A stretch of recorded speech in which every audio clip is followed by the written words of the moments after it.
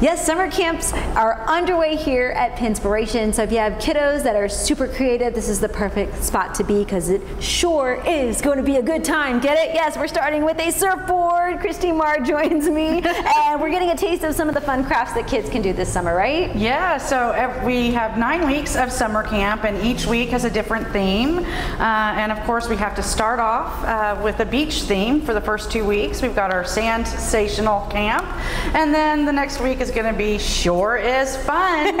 uh, so we have different themes every week. Uh, kids that are elementary age can come in and every day they're going to do at least two crafts. Uh, there's something different to do every day and we've got fun tie-dye inspired camps, uh, travel the world camps. So we theme the different projects every day. They come in, have a great time. Uh, they get a snack and a drink, get to hang out with friends, and get really crafty. So uh, we have a lot of different things to do. Like, like you said, you've got that surfboard um, yeah. right there, and that's going to be done in the first couple weeks. And then we've got other things. For yes. example, when it's color camp, we're going to do fun things like put the kids in the splatter room, so they'll get to Ooh, do stuff like that. That's so fun. They can paint the background.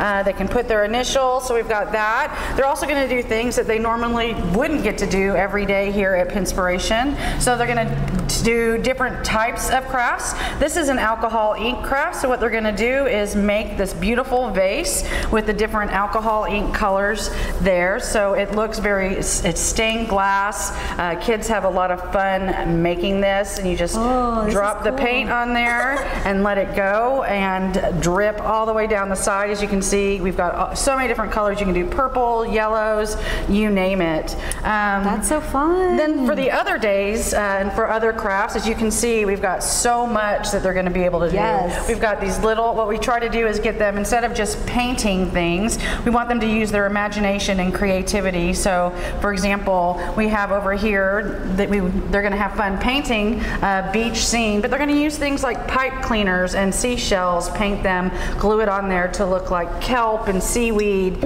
and fish. We even they're going to make their own little crab with the shells and pipe cleaners, um, and also other fun things like pom poms and buttons. Uh, they get to use their imagination and create something that they really really love. For example, we've got a little rainbow here. So if you have a little girl and she loves Yay. rainbows and unicorns. That's something that she's going to be able to easily do, but also have a lot of fun. And it's really funny. It's really fun when the kids use the mixed media and do yes. all of that stuff because it keeps them interested, it keeps mm -hmm. them entertained. There's so many different things. Use their sequence, imagination, right? Use their imagination. Yes. yes. Um, they'll be able to do some fun painting, some more abstract painting. We've got uh, during one of our color weeks, we're going to be doing an Andy Warhol like painting. Oh, nice. So they're going to do do paint little four blocks and, and take their hands and put a little oh, handprint in different colors. And that's really mm -hmm. pretty, the letter there yes. with the flowers. So one of the days, the each kid that's here, we're going to get their, the initial, uh, the first initial,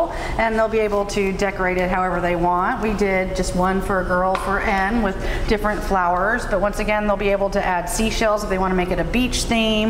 They can add pom-poms, buttons, uh, puzzle pieces, you name it. it the, the only limit uh, that they're going to have here is going to be their imagination. Oh. And we give them everything to have the, a great time here at camp. And it's, like I said, 9 to noon uh, during the summer. All right, well, I'm already having a good old time. So uh, the snacks provided, and all you have to do is make your reservation and just inquire with Christine. We have all the information on salive.com. Just click the As Seen on SA Live tab, and you can make your reservation. Yes. This is happening all summer long, right? It is. It's going through the middle of August, but you do need to make sure that you make a reservation so we can prepare everything. Yes. Because uh, we will close them out. We've got some slot, some spots left. Uh, so yeah, go on and uh, have your kiddos come join us. Sounds Sounds like a great time. All right, Christine, thank you so much. I'm gonna keep working on my vase here.